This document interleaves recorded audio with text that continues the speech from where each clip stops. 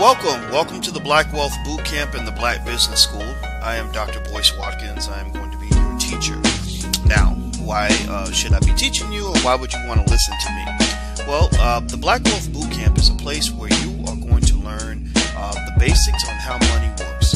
You're going to learn certain terms about about money, about investing, about building wealth. Uh, what does it mean to build wealth? Well, to build wealth, that means uh, having access to enough money to kind of do what you want to do, to kind of be your own boss, to buy the things you want to buy, to help the people that you want to help, to do the th- good things in the world. Uh, you don't want to be poor, you don't want to be broke, you don't want to run out of money. Uh, and learning things, learning about money, is a good way to control money. Also, if you are black, then it is very important for you to understand the importance of keeping your money in your own community and helping other black people with your money. Uh, that's very, very important. That's what this class is all about. That's what the Black Wealth Boot Camp is all about, is teaching you uh, how to get your money and how to keep your money. That's what's really important. Now, why would you want to learn from somebody like me? Well, I am a college professor. College professor. I teach finance. I have taught uh, money and finance for the last 20 years. Finance is another way of talking about money.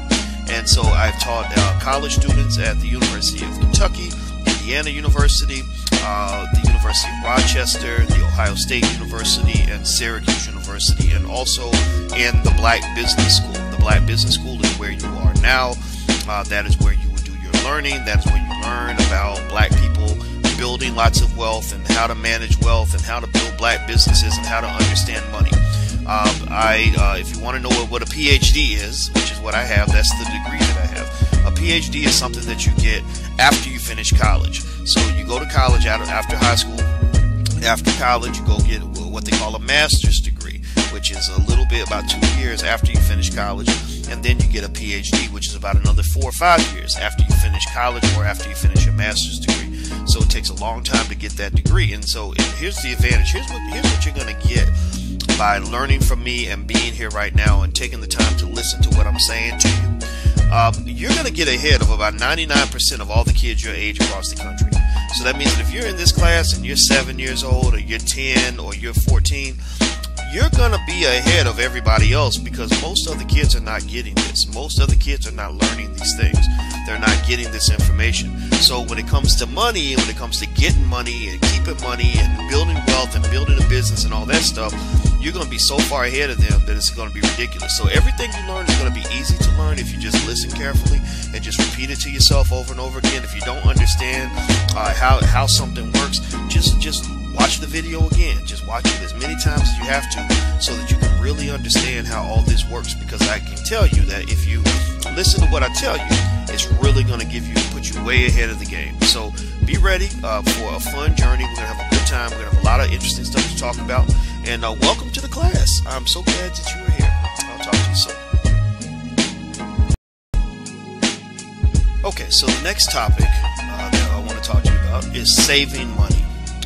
What does it mean to save money? You probably kind of know, but let's talk about saving and what it is and how to do it. Um, saving is basically when you get money and you don't spend it. Um, sometimes you, you may invest your money. We talked about what it means to make an investment in a different lecture, right? A different uh, conversation.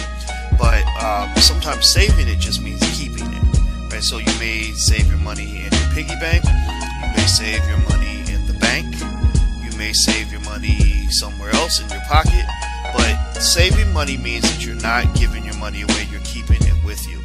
What you want to do is you want to make sure that with any amount of money that you get, you always save about 10 to 15% of that money. So that means that if you get $10, you save at least $1, maybe $2 out of that $10. You understand? So always save your money uh, because if you save your money, then what can happen is the money will pile up.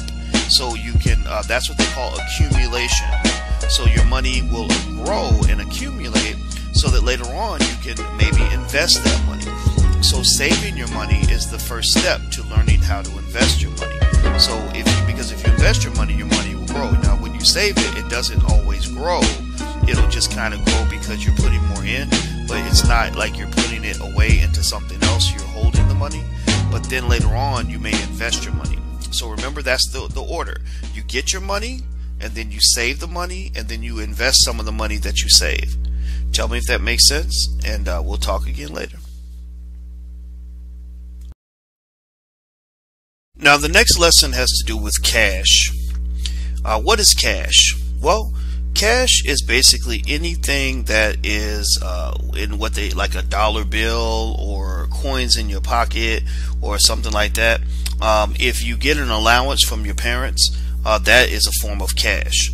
But now there's different ways that money um, money can be kept. Right, money may not be kept in cash. Sometimes you may invest your money into something, and you may have money in the form of of of land, or you may buy um, the lemonade stand, and your money could be in your lemonade stand because you won't have any cash anymore because you spend your money on your lemonade, on your lemons, and your sugar and everything else. So that's still valuable, but it's not cash. So cash is one way to have something valuable, but there's other ways to have something valuable besides cash. But anytime somebody gives you something that uh, that's that like a dollar bill, or even if they give you a check, one day we'll talk about checks and stuff like that. That is a form of cash. So usually when you have a, a rich person a person that's rich, usually all their money isn't in cash. Like if they had all their money in cash, like you think about somebody that's really rich, like um, LeBron James, he doesn't have all of his money in cash. He's probably got maybe a hundred thousand dollars in cash or two hundred thousand in cash, but a lot of his money is is in the form of uh, investments and stuff like that. So he probably has he, he owns maybe piece parts of a restaurant. He probably owns um, you know maybe uh, some sports teams. He probably owns some stock uh, or he has a percentage of ownership of Nike. You know Nike, the company that makes the shoes.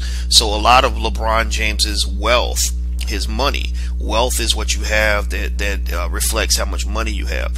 Um, so a lot of LeBron James's money and wealth is not just in cash. Some of it would be in things that he owns, and we're going to talk about ownership in a minute.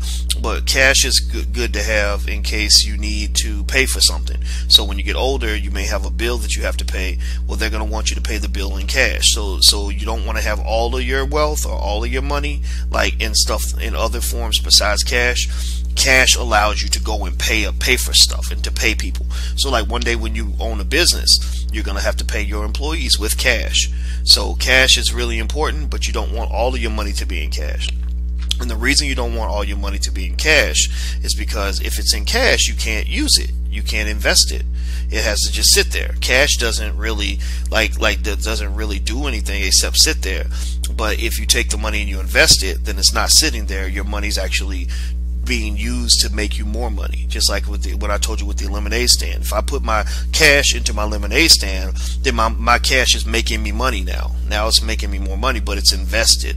So cash is just uh, exactly what it sounds like. It's just, you know, dollar bills, coins, maybe checks, stuff that you have in the bank account, stuff like that. So that's cash. Now, the next thing I want to talk to you about is what it means to get a loan. What is a loan? A loan is where you get money from somebody and you have to give it back.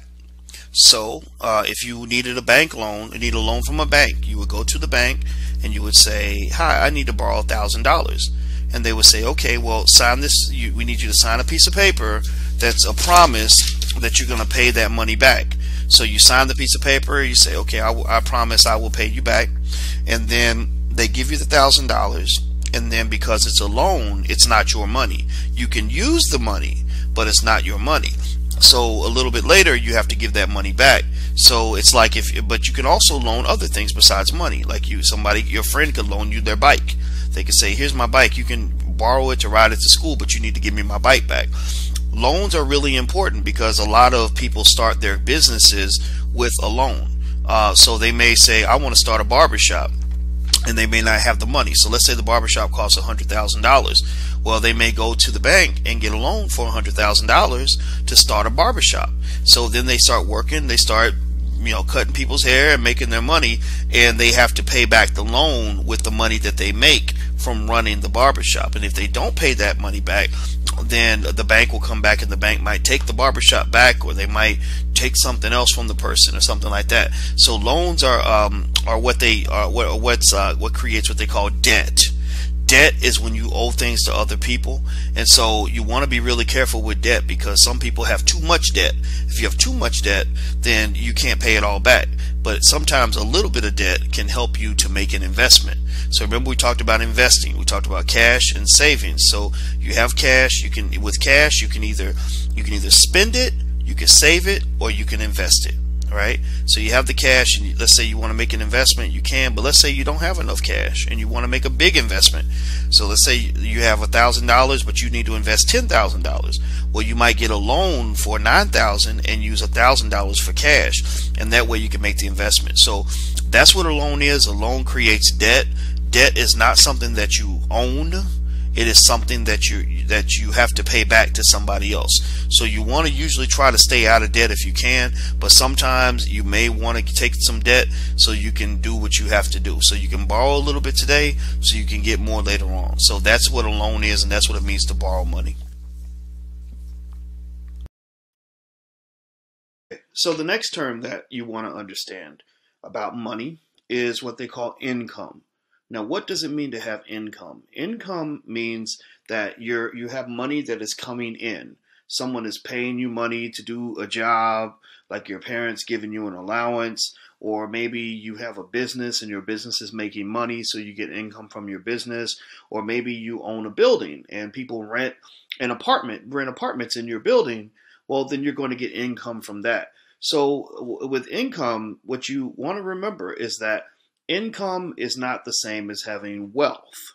Wealth is when you have a lot of income that you've saved up and you piled it up maybe from your investments and things like that because remember you're thinking like an investor. So you have wealth because you your income has come in and you've just been saving it. So for example let's say that, that i make $10 a week. That's my income. That's how much money i get paid for my job. So let's say i my mother gives me $10 a week for my allowance I make another twenty dollars a week because I cut grass, and maybe I make another ten dollars a week because uh, I shovel snow. Maybe well, not shovel snow. Let's say I sell candy bars because you can't shovel snow and cut the grass, right? So I sell uh, candy bars and I cut the grass, and my mother gives me money too. So I've got what they call three sources of income. So I'm getting money from my mother, money from cutting the grass, and money from selling candy bars, right, from my small business. And then I get that money, and let's say every week I get $50 after I save everything up. And let's say I save all my money every week. I don't even spend it, I don't consume. I just save it so that I can invest it later. Well, I'm going to accumulate wealth I'm going to gain wealth because 50 will, the first week I'll have 50, the second week I'll have 100, the third week I'll have 150, the fourth week I'll have $200, and I'll just stack up my money and I'll eventually have a lot of wealth. So, what you want to do is you want to use your income to uh, get as much wealth as you can so that you'll have money that's there even if you don't have to work. Now, there's another thing about income that I want you to understand. There's a difference between what they call passive income and active income. Now, what is active income? Active income is where you have to be, you have to do something to get the money. So, active income means that if I go to work, I get paid right? I maybe my boss pays me money every week because I go to work, or if I cut the grass, I get paid, and or if I do the job, I get paid. Passive income is uh, income that you where you don't have to do any work hardly at all. You don't have to do anything. It just comes in, and that's what they call passive. Passive means you're not doing anything. So the money's coming in very just easily. You don't do anything, right? So which would you rather have? Active income or passive income? Would you rather have income that you have to work for or income that you don't have to work for? Well, people who don't invest, they can only get active income because they have to keep working to get more money. So every week they have to go back to work so they can get another paycheck and get more money, right? But people who have passive income are investors. If you are an investor and you invest in different businesses and in different, you buy, you buy, you get invest in the stock market, you invest in uh, maybe a, a, house, or maybe you go buy uh, some little businesses, you can get what they call passive income so that you eventually get lots of money without without doing anything. So there are people that um, that have that kind of passive income and they make a lot of money even when they don't go to work. So you should never think that you have to go to work in order to make money. That's not true. At first you have to work because you have to get your income so you can build your wealth and then you can invest your wealth. Do you follow me? So you invest your wealth. That means you put it into your businesses and you put it into uh, the other things that you want to do to make more money. And then over time, you'll start to get passive income. And that's when you'll really start to feel good about how much money you have. So remember what income is and remember the difference between active and passive income. Also remember the difference between income and wealth. Those are two very different things.